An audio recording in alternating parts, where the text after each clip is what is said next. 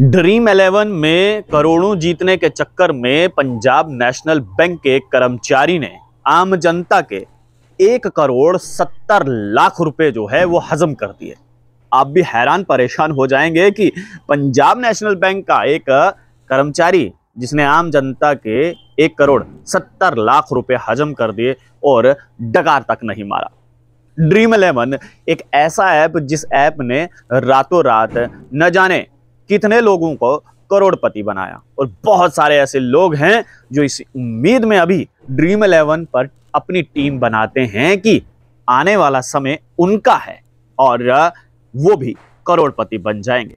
लेकिन dream eleven बाकायदा ये कहता है कि जब कभी भी आप ड्रीम इलेवन पर अपनी टीम बनाते हैं तो वो अपनी रिस्क से बनाइए। उसमें हमारा कोई कसूर नहीं होगा। और बाकायदा वो अपनी एडवर्टीजमेंट में ये कहते हैं कि ये इस गेम को ध्यान से खेलिएगा, इसकी लत लग सकती है। तो बस, ऐसी ही लत एक शख्स को लगी, जिस शख्स का नाम रणवीर है और पंजाब नेशनल बैंक का ये कर्मचारी है।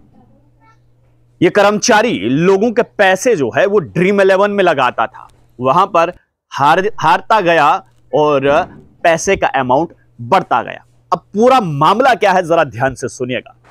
मामला हरियाणा का है। जहाँ पर पंजाब नेशनल बैंक का कर्मचारी जिसका नाम रणवीर है वो लोगों के पैसे जो है वो ड्रीम इलेवन में लगाता था। यानी कि अगर आ, कोई भी शख्स उसके पास बैंक में पैसे जमा कराने के लिए जाता था तो वो उन लोगों को ये कहकर वहाँ से भेज देता था कि अपने पैसे मुझे दे दीजिए। इस समय बैंक का सर्वर डाउन है और बदले में एक रसीद दे जाता था कि शाम तक आपके अकाउंट में पैसे आ जाएँगे। और यकीन मानिए कि वो पैसे उन लोगों के अकाउंट में आज तक नहीं गए हैं। और कुल मिलाकर यह राशि एक करोड़ सत्तर लाख रुपए की है। हैरानगी की बात यहाँ पर यह है कि अगर एक और शख्स, जिसका नाम संजय है, वो शख्स एक करोड़ तीस लाख रुपए जो है, वो जमा करवाने उसी बैंक में, यानी कि पंजाब नेशनल बैंक में जाता है, जहाँ पर यह रणवीर नामक शख्स पंजाब नेशनल बैंक में काम करता था। जैसे ही संजय उस बैंक में जाता है, अपने एक करोड़ तीस लाख रुपए जमा करवाने के लिए तो वहाँ पर वो रणवीर उस शख्स से कहता है कि आप अपना पैसा मुझे दे दीजिए, इस समय बैंक का सर्वर डाउन है, आप ये रिसिप्ट ले लीजिए, शाम तक आपके अकाउंट में पैसा पहुँच जाएगा। संजय ने सोचा कि बैंक का कर्मचारी है और बात बैंक के अंदर की है बैंक के बाहर की नहीं है तो संजय ने अपने खून पसीने की कमाई उस रणवीर नामक शख्स को दे दी और बदले में एक रसीद लेकर अपने घर आ गया। संजय ने शाम तक इंतज़ार किया और शाम तक उसके अकाउंट में वो पैसे नहीं आए। संजय घबरा गया और अगले ही दिन सुबह तड़के वो बैंक पहुँचा, जहाँ पर उसने बैंक मैनेजर से बातचीत की और बकायदा बैंक मैनेजर से जब उसने ये तमाम डिटेल शेयर की तो बैंक मैनेजर खुद हैरान परेशान हो गया कि आखिरकार एक करोड़ तीस लाख रुपए गए तो गए कहाँ?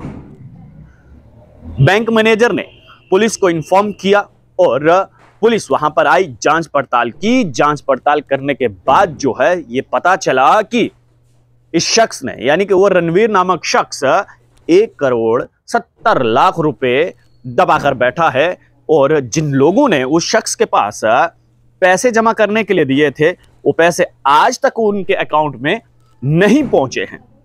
जब पुलिस ने रणवीर से पूछताछ की कि आखिरकार आपने ये पैसे कहाँ डाले हैं?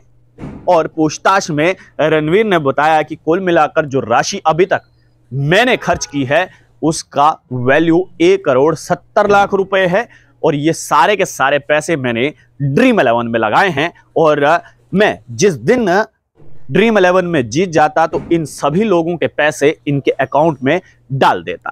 खैर, ये तो बात की बात है कि वो रणवीर ड्रीम इलेवन में जीतता या नहीं, लेकिन जरा सोचिए कि न जाने कितने लोगों के, आम जनता के एक करोड़ सत्तर लाख रुपए वो खा गया। यानी कि ड्रीम इलेवन पर वेस्ट कर दिए और फिर बाद में ये कह रहा है, ये तर्क दे रहा है कि अगर मैं जीत जाता तो उनके अकाउंट में वापस पैसा डाल देता। आप लोग भी जब भी बैंक जाइए और कोई भी अगर शख्स आपको यह कहता है कि इस समय बैंक का सर्वर डाउन है, आप अपना पैसा हमें दे दीजिए और हम बाद में आपके अकाउंट में पैसा डाल देंगे। तो जरा सोच समझ कर अपने खून में, खून पसीने की कमाई उस शख्स के पास दीजिएगा, क्योंकि वो शख्स फ्रॉड भी हो सकता है। जिस प्रकार से पंजाब नेशनल बैंक के इस कर्मचारी ने किया है, हो सकता है। मैं ये नहीं कह रहा हूँ कि सभी लोग ऐसे ही सभी कर्मचारी ऐसे ही हैं, बिल्कुल भी नहीं।